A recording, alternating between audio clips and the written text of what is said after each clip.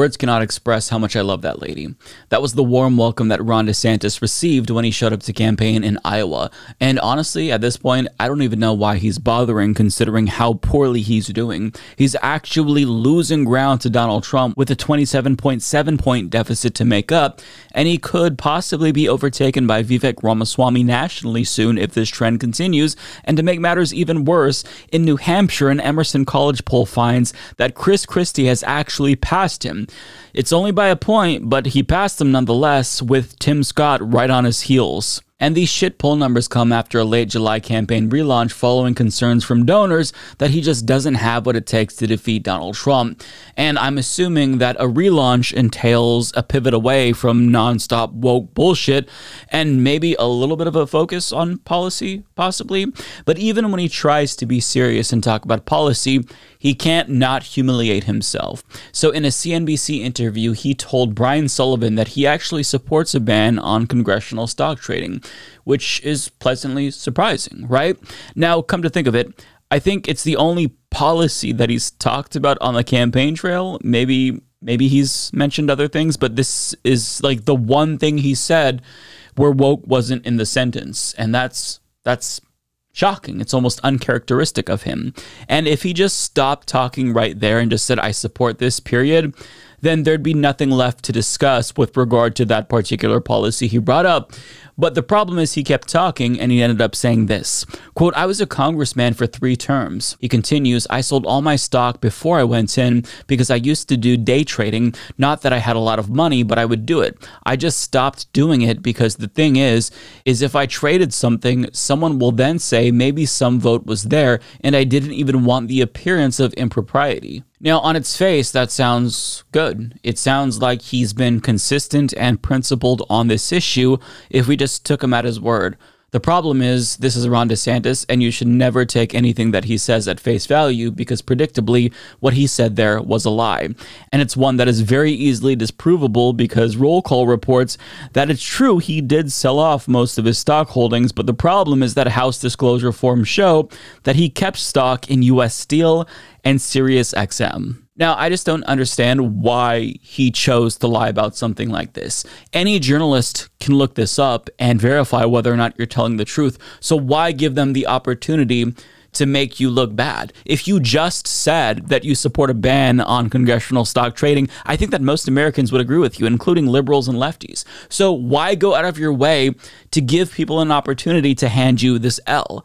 I just I, I don't get it. Maybe he is uh, a masochist and he's a sucker for punishment, but that pales in comparison to another L that he took lately, and I'm of course referring to this idiotic feud with Disney. Because as Deadline reports, Florida Governor Ron DeSantis urged the Walt Disney Company to drop its lawsuit against him, while telling CNBC that he has moved on from his battle with the company and that it should drop the lawsuit against him. Last call host Brian Sullivan asked DeSantis why he doesn't just pick up the phone and called Disney CEO Bob Iger to resolve the dispute. Quote, We've basically moved on, DeSantis said. They are suing the state of Florida. They are going to lose that lawsuit. So, what I would say is drop the lawsuit. You have the state that even CNBC ranks as number one of all 50 states for economy. But hang on a second. If you're so confident that you're going to win, then why would you choose to move on and then encourage them to drop the lawsuit? Why not take them to court? Beat them and then you can tout that as a victory. I mean, as a politician, don't you have an interest in saying, I took on this corporation and I won? Why would you unilaterally disarm here? It doesn't make sense. Doesn't necessarily scream confidence if you ask me. But for those unaware, this feud started back when DeSantis tried to strip Disney of their special status that gives them control over local taxes and bonding. And DeSantis did this in direct response to them criticizing his Don't Say Gay law. And it's been a while since this story was uh, covered in the news, so this Washington Post clip is going to catch us all up. I mean, they thought that they could create some type of development agreements that would essentially render everything that we did uh, null and void and per- put them in control in perpetuity uh, for this. Well, uh, that's not going to work. Uh, that's not going to fly. Whatever rationale there was 60 years ago uh, to do that, clearly now we're in a much different era as a state. Walt Disney himself oversaw the purchase of 49 square uh, miles in Central Florida used to be orange groves and swampland. His executives worked with the state legislature, who were so happy to have Disney in Florida, to create a special taxing district. They've had this special district since 1967. There are thousands of those in Florida. I live in a special taxing district. They usually take care of things like roads and parks, pretty simple stuff. For Disney, it was very different. They wanted to build this, this magic kingdom, which they did using their own rules and their own, not having to worry about getting permits from local governments and red tape and bureaucracy. And it allowed Disney to grow and develop the way it wanted to. Worked out very well for Disney. Disney is suing for specific allegations. Uh, they're saying that the state is punishing them for their free speech. And corporations are now considered to have the rights of citizens, right? Ever since the uh, Supreme Court decision years ago. So Disney is using those rights as a citizen to say we can speak, we can say whatever we want, and we shouldn't be punished by the government for doing that.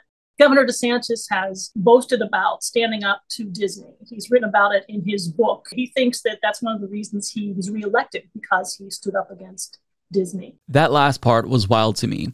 He actually thinks that he was reelected for standing up to Disney.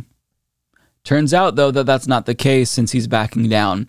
Now, to be clear, I don't think that corporations are people, nor do I think that they should get special treatment by states.